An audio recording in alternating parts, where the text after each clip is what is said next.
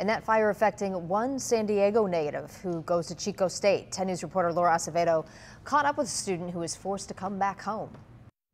Vanessa, although local firefighters aren't up at the Camp Fire, they are helping out in Ventura. The student I spoke to says he came back home because the air quality was so bad. So then I go outside and then uh, I ended up seeing the, the sky and it's like all dark and stuff like that. And it was like for 9 a.m. it should be pretty blue skies.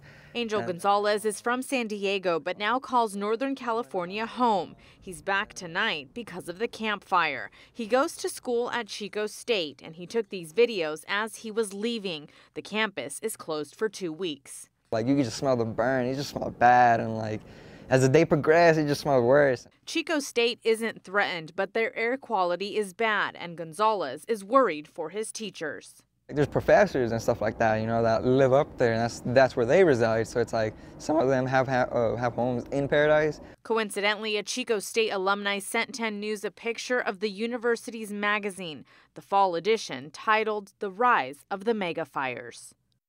Classes are scheduled to resume the Monday after Thanksgiving. Reporting from Cal Fire, Laura Acevedo, 10 News.